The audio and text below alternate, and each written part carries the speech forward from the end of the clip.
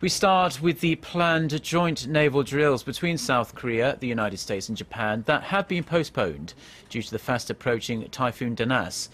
The trilateral drills were scheduled to take place from today until Thursday in waters off Korea's southern coast and were to involve the nuclear-powered American aircraft carrier, the USS George Washington, as well as Aegis destroyers from South Korea and Japan.